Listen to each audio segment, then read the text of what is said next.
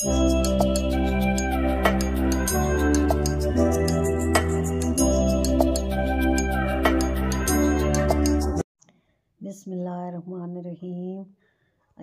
पाक, हम सब पर अपनी रहमतों और बरकतों के दरवाज़े खोल दे।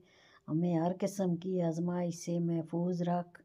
हमारी तमाम जायज़ आयतों को अपने फजलो करम से पूरा फरमा। हमारे तमाम गुनाह और ख़ताओं को बग़ैर सज़ा के माफ़ फरमा और हम सबको सरात मुस्तकीम पर चलने की तोफ़ी अता फ़रमा। आमीन सुम आमीन। बेके मोहम्मद व आले मोहम्मद। अस्सलाम वालेकुम सुबह बखैर जी। उम्मीद है आप सब खैर खैरियत से होंगे। अल्लाह पाक के हुक्म से एक और दिन का इजाफ़ा हमारी ज़िंदगी में हो चुका है। अल्लाह पाक हम सबको आसानियाँ बांटने की तोफ़ी अता फ़रमाए। आमीन। और सेहत के साथ लंबी ज़िंदगी दे और खुशियाँ दे, परेशानियों से बचाए, नाकानियों से बचाए। आमीन। तो ये जी मैं अपना नाश्ता तैयार कर रही हूँ। आज ब्रेड खाने को दिल चाह रहा था। पराठा रोज़ रोज़ खा के तो वैसे भी बंदा हैवी हो जाता है। तो चले आज ब्रेड खाते हैं। ये देखें, जी मेरा नाश्ता बन गया। आज मैं पराठा नहीं खा रही। पहले भी आपको बताया है कि मैंने ब्रेड बना रही हूँ, ये कबाब बनाए थे तो मैं इनका, चले सैंडविच बना लेती हूँ।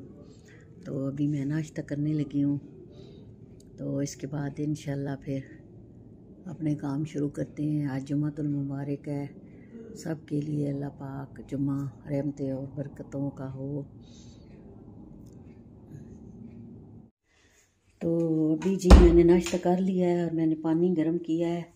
तो आज मैं बर्तन धोने लगी हूँ क्योंकि आज पठानी पिशावर गई है दोनों बहनें। तो इसलिए आज मैंने खुद ही काम करना है। सफ़ाई तो मुझसे नहीं होगी।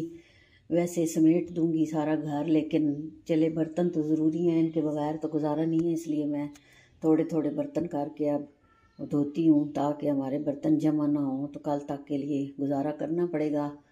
तो ज़ाहिर है वो भी, उन्होंने भी जानना होता है, उनकी भी अपने काम है तो उनकी बहन का बेटा हुआ है वो उधर जा रहे हैं पेशावर आज।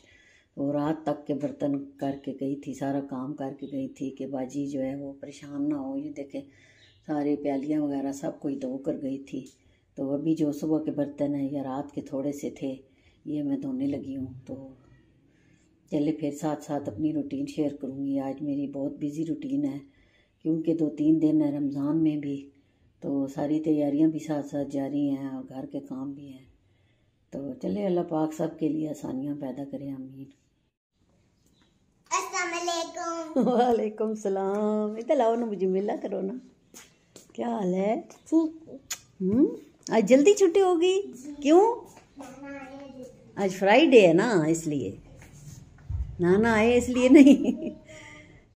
ये जीब नवासी के लिए अंडा बना रही हूँ, उसे फ्राई अंडा नहीं पसंद, ये फेंट कर और सिर्फ़ नमक डाल कर उसे अंडा छोटा सा पराठा बनाया है। आज उसने स्कूल में लंच नहीं किया कभी कभी लेके जाती है और नहीं करती, फिर घर आके करती है। ये देखें जी, तकरीबन एक घंटा मैंने लगाया किचन में, आज डीपली सफ़ाई की है। आपको पता है, काम वालियाँ जो काम करती हैं तो ये मैंने हटा के स्टैंड वगैरह इनके पीछे से सफ़ाई की है, सिंक को सही साफ़ किया है। अभी इसमें मैं फिर ब्लीड डालूँगी और भी साफ़ करूँगी, लेकिन फ़िलहाल मैं बहुत थक चुकी हूँ, क्योंकि फिर मैं लगी रहती हूँ, टांगों पे दबाव पड़ता है, खड़े होने से फिर दर्द शुरू हो जाता है। ये मैं सारे बर्तन धो लिए हैं, शेल्फ भी साफ़ किए हैं, चूल्हा साफ़ किया है, सारी चीज़ें साफ़ करके इन्हें मैंने ये देखे, सही करके रखा है। बस काम वालियाँ तो करती हैं, लेकिन ये है कि उनके बगैर फिर हमारा गुजारा भी नहीं है, बस गुजारा ही करती हैं, लेकिन साथ खुद ना लगो तो काम नहीं होता, लेकिन आज तो मैंने सारा काम खुद किया है। नीचे से मैंने आज किचन नहीं धोया, बस वैसे ही सफ़ाई करके और लगा दिया है वाइपर। बस अब मेरी हिम्मत नहीं है। फिर इंशाल्लाह साथ साथ करूँगी, क्योंकि वो लोग तो कल आएँगी, अभी तो बहुत काम है। फिर साथ साथ मैं करती रहूँगी, इंशाल्लाह। अल्लाह पाक मुझे हिम्मत से दे। अब जुम्मे, मैं जुम्मे की तैयारी करती हूँ, इंशाल्लाह। फिर इसके बाद आपके साथ शेयर करूँगी। तो ये जी काम वगैरह ख़त्म करने के बाद अब मैं जा रही हूँ। आज मेरी दो कुलीग्स हैं जो उम्र करके आई हैं, माशाल्लाह। तो उनको मुबारकबाद देने जा रही हूँ क्योंकि आगे रमज़ान आ रहा है। तो मैंने सोचा कि ये मेरे जो काम पेंडिंग है, वो मैं सारे कर लूँ। तो आज मैं उधर जा रही हूँ। तो आपके साथ शेयर करूँगी इन तो ये शहर में उनका घर है। तो वहाँ पर हम जा रहे हैं, बच्चे भी साथ हैं। ये जी अब मैं अपनी टीचर के घर जा रही हूँ। उधर शाह जी ने उतारा है। तो ये आगे गली में उनका घर है। वो उम्र करके आई हैं, माशाल्लाह से। तो मुबारक देने उनको जाना है। ये जी अब हमने चाय पी है, मिठाई खाई है, कबाब खाए हैं, माशाल्लाह। और ये तबरुक उन्होंने मुझे दिया है। ये देखें, माशाल्लाह। आब जमजम कचूरे ये तबरुक। मेरे नसीब में था और मैं आ गई हूँ लेने के लिए। अल्लाह पाक साहब को इन जगहों पे लेके जाए। अल्लाह पाक हमें भी उम्र, हज कराए, सवार बनाए। ये जी, अब दूसरी टीचर के घर आई हूँ। माशाल्लाह, वो भी उम्र करके आई हैं तो वो आगे टिक्कियाँ बना रही थी। हमने जमजम पिया, खजूरें खाई। और ये जी, अब हम फारे हो गए हैं। बच्चे मेरा वेट कर रहे हैं। ये बच्चे मेरा वेट कर रहे थे गाड़ी में तो यहाँ से फारिग होने के बाद जी अब हम ए, मेरे देवर के घर जा रहे हैं। मरहूम जुल्फ़कार शाह अल्लाह पाक उसको जन्नतुलफिरदौस में जगह दे उनकी डेथ को छः माह हो चुके हैं तो रमज़ान आ रहा है हमने सोचा चक्कर लगा ले। गोड्स ओ वो देखो गोड्स आई हैं। जी अब हम अपने भाई की तरफ़ गए थे लेकिन वहाँ पर ताला था तो हम वापस जा रहे हैं। चलो फिर चक्कर लगा लेंगे इंशाल्लाह। तो बस अब फिर घर जाते हैं, बच्चे भी साथ हैं। ये सारा करबला मल्ला है। भाई की तरफ़ लॉक लगा हुआ था, वो कहीं गई हुई थी भाभी तो फिर अब हम वहाँ से फारिग होकर मैं अपने भांजे के घर जा रही हूँ। अल्लाह पाक मेरे भांजे को भी जन्नतुलफिरदौस में जगह दे, वो भी, उनकी भी डेथ हो गई है। अल्लाह पाक उसे जन्नतुलफिरदौस में आला मकाम अता फरमाए अमीन उनका घर ज़िला कौंसल कॉलोनी में है, जो जना पार्क के सामने है। तो अब हम वहाँ जा रहे हैं। ये सारा जना पार्क वाला रोड है। तो यहाँ से सीधा जाएँ तो बिल्कुल सामने ज़िला कौंसल कॉलोनी है। मेरे भांजे ने ज़िला कौंसल में जॉब की थी और दौरान दौरान जॉब भी उसकी डेथ हो गई थी। ये राइट साइड पे सारा जना पार्क है, बहुत ही बड़ा है। पहले पहले इसका नाम कंपनी बाग हुआ करता था तो बाद में इसका नाम फिर जना पार्क रख दिया गया और इसको सारा रेनोवेट किया गया, सारा बहुत अच्छा सा ये बन गया है, माशाल्लाह। और यहाँ पर फुटपाथ बने हुए हैं और लोग जो है वॉक करते हैं रोज़ आकर।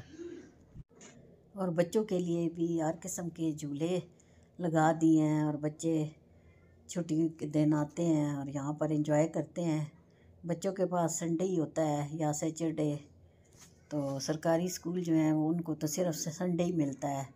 तो वो लोग सारे बच्चे यहाँ आते हैं और ये जी ज़िला कौंसल कॉलोनी है, सारी ये राइट साइड पे। सारी ज़िला कौंसल कॉलोनी है। जितने भी ज़िला कौंसल के मुलाजमीन हैं, उन सबको यहाँ पर घर मिले हुए हैं और मेरे भांजे का घर भी बहुत पुराना है, बहुत पहले जब ये भर्ती हुआ था तो इसको साथ ही मिल गया था। तो यहीं पर सब लोग रहते थे तो अभी भी यहाँ ही रहता था। और इनके घर के बिल्कुल ये सामने बड़ा गेट है, ये स्टेडियम है, बहुत बड़ा स्टेडियम है। यहाँ पर हर साल स्पोर्ट्स होती हैं, मुकाबले होते हैं, जानवरों के घोड़ों की रेसें होती हैं, बहुत बड़ा स्टेडियम है और ये उनका घर है। तो अब हम जी पहुँच चुके हैं। इनके बच्चों ने ये कबूतर रखे हुए हैं। तो ये दिन ब दिन जो है, इनमें इजाफ़ा हो रहा है। तो बच्चे यहाँ आकर बहुत ही ज़्यादा खुश हुए, क्योंकि उन्होंने कबूतर देखे थे और ये उनके पास बार बार जा रहे थे। और बहुत ही ज़्यादा खुश हो रहे थे और बहुत ही ज़्यादा इन्जॉय किया इन लोगों ने। और ये इनके सेन में लोकाट का दरख्त है जो पहले छोटा होता था, अब माशाल्लाह बहुत बड़ा दरख्त बन चुका है और इसके साथ ये देखिए कितना ज़्यादा फल लगा हुआ है, बहुत ज़्यादा आठ लगते हैं। वो कहते हैं ना कि दरख्त जो लगाता है तो फिर फल किस्मत वाला ही खाता है।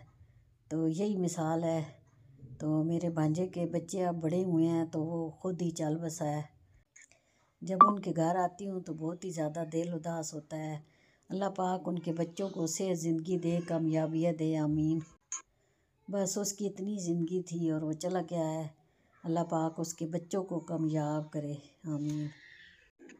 ये जी, अब मगरब का टाइम होने वाला था और हमने चाय वगैरह पी, उसके बाद हम अब घर की तरफ़ निकले हैं। ताकि घर जाएँ। तो आज माशाल्लाह बहुत सारे काम मैंने कर लिए। शुक्र है अल्लाह का। फिर आगे रमज़ान आ रहा है तो रमज़ान में निकलने की हिम्मत नहीं होती। अल्लाह पाक सेहत, ज़िंदगी दे। आमीन। इस टाइम पे सड़कों पर बहुत ज़्यादा रश होता है, इसलिए कि शाम को लोग घरों को वापस जाते हैं। जो लोग दुकानदार होते हैं या ड्यूटियों पर आते हैं तो उनकी छुट्टी होती है और वो शाम को वापस जाते हैं। आज दिन गुजरने का पता ही नहीं चला और शाम हो गई है। सुबह होती है, शाम होती है, ज़िंदगी यूँ ही तमाम होती है। तो यही बात है, दिन और रात गुज़र रहे हैं। हमारी ज़िंदियाँ जो हैं वो ख़त्म हो रही हैं, कम हो रही हैं। तो अल्लाह पाक बस सबको ज़िंदगी की सेहत के साथ दे। अल्लाह पाक किसी का मोहताज न करे। आमीन। ये जी टमाटर और मिर्ची बना रही हूँ तो ये बहुत अच्छी लगती हैं। हमने मूंग की दाल बनाई है, येलो वाली। तो उसके साथ ये बहुत ही अच्छा मसाला लगता है। ये अब हम खाना खाने लगे हैं, रोटी बन चुकी है। और उसके बाद फिर कहवा वगैरह बनाते हैं। खाना खा लिया, अब वह बनाने लगी हूँ? तो कहवे के बगैर तो हमारा जो है खाना ही हज़म नहीं होता, अब इतनी ज़्यादा आदत हो गई है। ये लगता है रमज़ान ही में अब ख़त्म होगी तो मैं गुड़ और शक्कर वाला कहवा बनाती होती हूँ, वैसे भी आम चाय में भी आप चीनी की बजाय गुड़ इस्तेमाल करते हैं, क्योंकि गुड़ अच्छा होता है सेहत के लिए और चीनी तो हमारे लिए ज़हर है, बल्कि सब के लिए ज़हर है। तो चलिए जी, अब हमारे दिन का अख्ताम होता है। कल मिलेंगे एक नए ब्लॉग के साथ। तब तक के लिए अल्लाह हाफिज़।